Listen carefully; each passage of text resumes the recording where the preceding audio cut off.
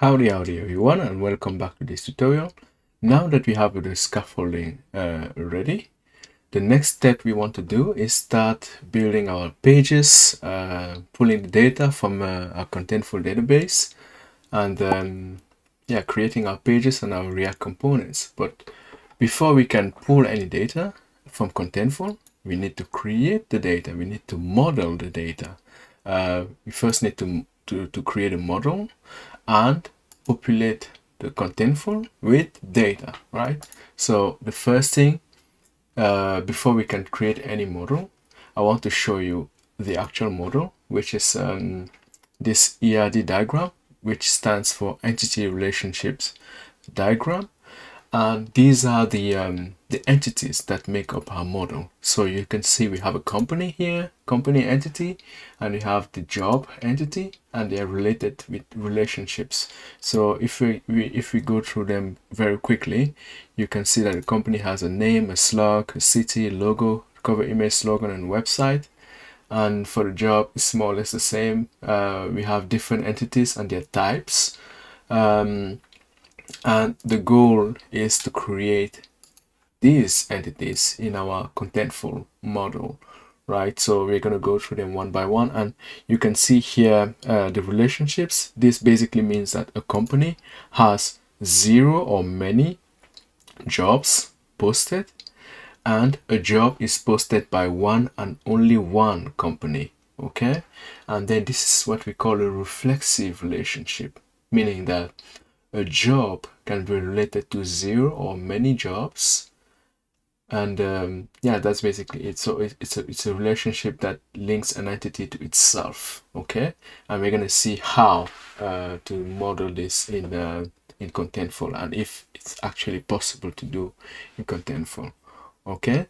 So without further ado let's get started by um, creating this entity. So i'm going to go to contentful. I'm going to start with this um, uh, entity, the company entity. So let's get started. So I'm going to create, design my model. What's the name of the content type? We're going to call it company. Okay. Um, add, add a description. Then I'm going to start adding some fields. We remember that the first field, I'm going for now, I'm going to create all the, the fields without adding the constraints. We're going to look at constraints and validation later on. So I'm just going to create them very quickly. We have a name. Okay create. Okay and then we have a slug. Create. We have um, the city. Create. We have the logo which is an image. Okay so the logo of the company is only one. And then we have um, the cover image. Cover image. Okay and after that we have the website okay? Which is another text website of the company. All right. And you can see here contentful gives you like recommendation as to what to choose. For example here you see that urls is, is one of the the the, the type of fields. Uh, like this field is, is suitable for the urls so we're going to choose this. Okay so with that we are done creating the company entity at least for now. We're going to come back to these and, and add validations and constraints. So let me save this. All right voila we have our first content model. So if i go back here we have you can see it here. So let's add another content type. We're going to add a job content type okay? So we add that here create. And then we add some types. If you remember if i go back here um, you can see that we have title slug remote okay um, feature job base and so on and so forth. So i'm going to go through them one by one. So if i come here okay i add title the title of the job okay create. The next one is a slug okay. The next one is is it is this job um uh job that is fine remotely? So this is a boolean I'm gonna add a boolean remote okay okay let's add that. And then feature job same thing uh, this is a boolean is this job a featured job. Uh, let's create that So boolean the next thing is base annual salary so this is a number okay? Base annual salary okay this is a number. And this i think a whole number is better uh, than a decimal i think. Okay so we're going to add here um, just so we add those nice round numbers. Okay so let's add that.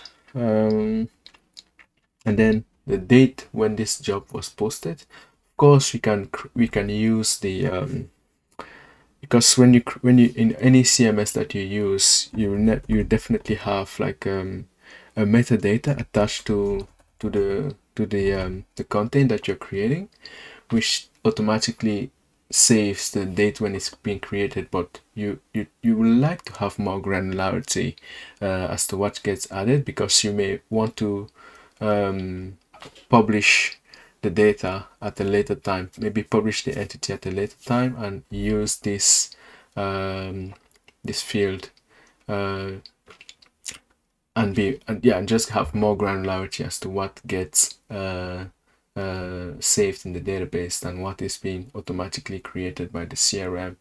So I'm going to add this instead of relying on what Contentful will give us, which is the createdAt field, which you can't change. So let's add that here. This is a date time field. Okay. So now let's add experience level and if I go back to the model here you see that experience level is of time enum basically what this means is that um, when we're going to work when we're going to be at the constraint and validation uh, lesson we're going to make sure that these fields although they are strings they can only be of certain values. We only have a, a set of values maybe like senior mid-year junior and uh, maybe tech lead and same thing for the job type here. So for example job type could be um, full-time, part-time, uh, internship, contract. So although this is as these are strings, we only want the values to be uh, within a certain with um, predefined within uh, a certain uh, set of allowed values. So that's what going to do here. So again, on this in this um, first stage, we are we are not creating the constraints and validations. You're going to do that later on. So I'm just going to add it as, as text field. So experience level, okay? You're going to come back to this and um, make the constraints and validation. Experience level, all right. Same thing for uh, job type. Job type. All right, let me add that here. Job type, short text. Job category, job categories for example if you are publishing multiple jobs in your company one could be a software engineering job one could be um, uh, like one could be software engineer software development one could be finance that's another category one could be marketing that's another category.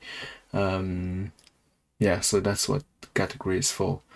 Um, and then we have application link. Again we're going to come back to this and add some constraint and validation. We want this to be a link um, a url basically so we, we will add the proper validation to make sure that the user um, when adding data to this field can only add um, um, a link a url. So application link okay let me save that. And then next thing we want to add is a job description okay? Now this is uh, we, we don't want we want this to be a rich text because we want the person publishing the job to be able to add like uh, list I list uh, elements even images if they want to. So that's why we, we are to add this as a, as a rich text. So job description okay? Then I save this. Next thing similarly is a, is a rich text about you. Uh, and you, you saw in the demo that we did in previous lesson that these sections were very uh, uh, yeah we, we had some proper HTML there bold elements list and so on. So that's what we want to achieve here. Uh, so I'm gonna call this about you. It's a rich text. Yes let's go. And a few more to go. Job responsibilities. Okay. Job responsibilities. Oops. I think I tapped that is right. Great. Job responsibility. Rich text. Remuneration package similarly here remuneration package. Okay let's save that. And uh, skills. Okay. Now this is um, interesting. Because I would have loved to add a, a field called skills which is going to be tags but it's not possible uh, like in a straightforward way in contentful. So we're going to rely on uh, let me let, let me first save and I'll show you what I mean.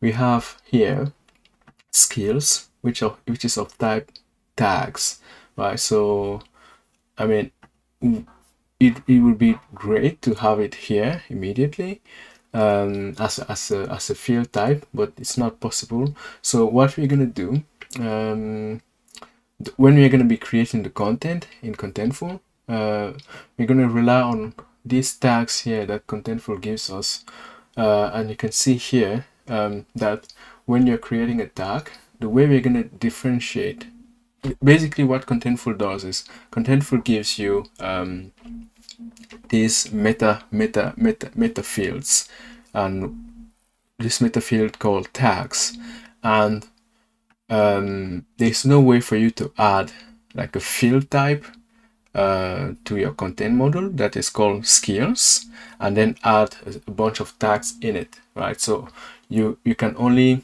uh, when you're creating the actual content uh, add link your content to one of the tags that you have created. So that's why here uh, you have you see here what I did. What I, I, will do for in this tutorial is that we are gonna uh, when we when we, instead of having like the model suggests here uh, a field type called skills um, in our job entity. What we're gonna do instead is that we are going to link um, when we are creating a job in Contentful we're going to link it um, to a tag that has the prefix skill dot okay? So because this is just like a, a bucket you can create all sort of tags that you want in it. They don't necessarily need to be skills right? But for us in order to differentiate uh, the skills tags to uh, other type of tags uh, we're gonna make sure that every tag that we create uh, that is meant to be a skill has a prefix skill. And also we need to make them public okay? So this one that I created just 30 minutes ago is a, is a private. So let's create one uh, I'm gonna call it skill dot let's say next.js okay so I'm gonna copy this and put it here make it public. By default um, Contentful autocomplete and uh, use camel uses camel case. We don't want that. Okay so let's save and create another okay? Now uh, skills react js gonna put that public also okay? And that's it right? We have already two two tags that are perfect right they're public and they have the prefix that we want okay so i think with that we are nearly done. Um, there's still a few things missing because our model, our content uh, model so far doesn't carry uh, the um, the relationship. So how are we going to be able to know uh, as uh, the way the way things are right now? How are we going to be able to know that this job belongs to this company? There's no way to know it. Um, uh, as things stand now right but we're going to cover that in the subsequent videos but for now let's move on to um, adding some constraints and validations to um, our our uh, content content models and we're going to do that in the next video thank you very much